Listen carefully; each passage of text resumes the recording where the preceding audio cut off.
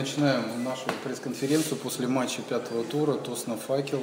И вашему вниманию пресс-конференция Павла Пантелеевича Гусева, главный тренер футбольного клуба «Факел». Павел Пантелеевич, ваше мнение о матче, как сложилась игра по тайму?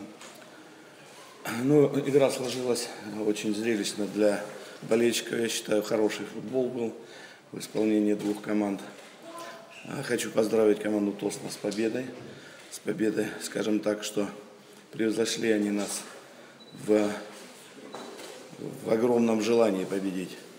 В огромном желании. И те ошибки, которые привели к взятию наших ворот, были созданы нашими игроками, не более того. Не более того. Потом, когда пошла игра уже во втором тайме, особенно 2-1 счет стал, когда стали рисковать и на встречных курсах, и у Тосна были моменты, и у нас были моменты. Ну, Тосна реализовала их, не реализовали, чем я их и поздравляю. Как изменилась игра Тосна? Готовились вы к этому матчу? Встречались э, команды, которые вверху турнирной таблицы. По сравнению с прошлым сезоном, в прошлом году дважды играли с Тосном. Ну, если только улучшилась, то, то есть э, изменилась игра, то только в лучшую сторону. В лучшую сторону.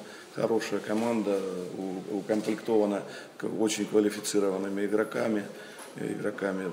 Ту игру, которую мы предполагали, мы предполагали, что э, игра будет вестись за счет длинных передач на двух выдвинутых мощных нападающих на Заболотного и на Кукина, э, и с хорошим подбором, все, и стандарты. Э, собственно, все так и произошло. Мы пропустили два мяча со стандартных положений, и э, второй мяч уму непостижимо, как расположились наши два центральных защитника, когда со своей половины одним пасом отрезается сразу два защитника и выход один в один. Все это наши ошибки, только наши ошибки привели к этому. А так добротная, хорошая команда.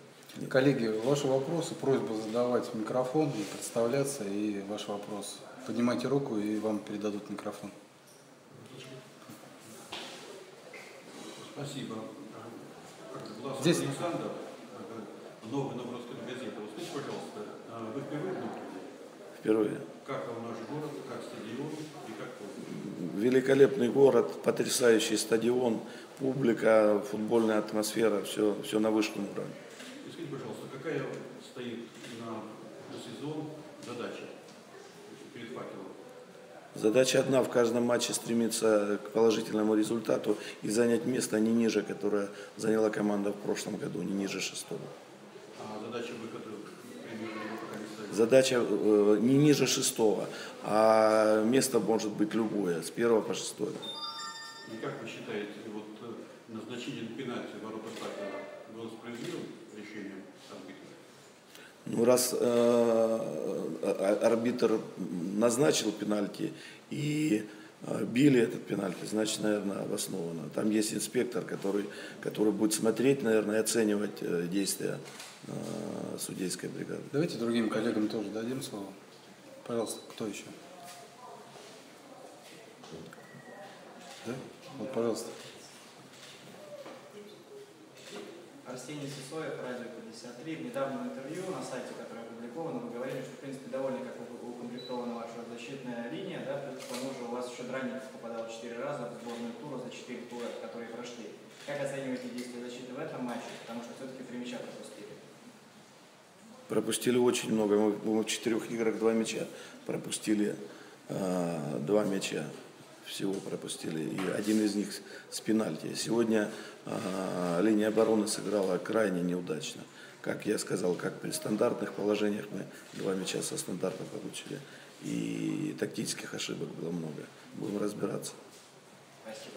Еще вопросы будут? Спасибо, коллеги. Спасибо. Спасибо. Всех, всех с победой. Спасибо. Удачи.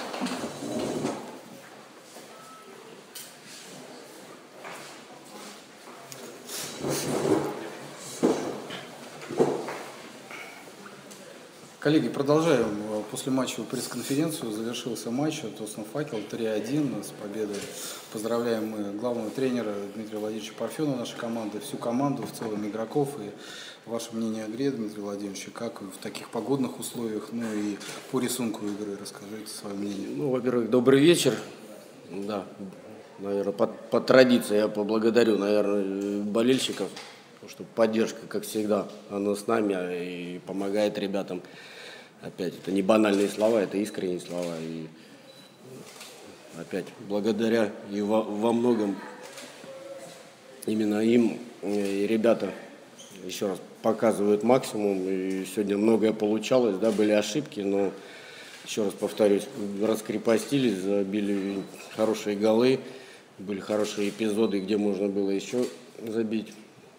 Но, еще раз повторюсь, играли с хорошей, сыграющей, одной из играющих команд в чемпионате. И, повторюсь, сложный матч. Это кажется, что если кому-то что по счету он был простой, он был очень непростой до последней минуты. Здесь, наверное, заслуга ребят, им спасибо. Выполнили практически все, что я просил, и отсюда, наверное, и результат такой. Коллеги, давайте приступим к вопросам. Тоже так на микрофон. У кого есть вопрос, поднимайте руку и, соответственно, задавайте вопрос. Пожалуйста, Арсений. Работает. Арсений Сысоев, радио 53, у Путина травма, серьезно, есть какие-то новости по кому? По Путину травму получил, заменили, Ну, завтра будет обследование, узнаем, что. Пока. Если говорить о готовности команды, можно ли сказать, что вы уже вкатились в сезон, а что, собственно, уже вот это время, которое после сборов, оно уже прошло, и команда уже находится в нужном игровом ритме? Ну, во-первых, у нас за практически 8 дней три непростых матча было, они такие больше эмоциональные, даже. Плюс, конечно, там усталость, напряжение, я имею в виду Мордовия, Кубань, Факел, это, я считаю, лидеры. И несмотря там на то место, где находится и Кубань, и Мордовия, я считаю, что это ну, все равно претенденты за медали, за выход. И, отсюда я говорю, что говорить, что вкатились, ну, такое впечатление, что уже идет давно чемпионат. Поэтому мы в чемпионате, мы в игре. Еще, пожалуйста, вопросы. Будут, коллеги, вопросы? Спасибо. Спасибо. Дмитрий Владимирович, с победой. До свидания. До свидания.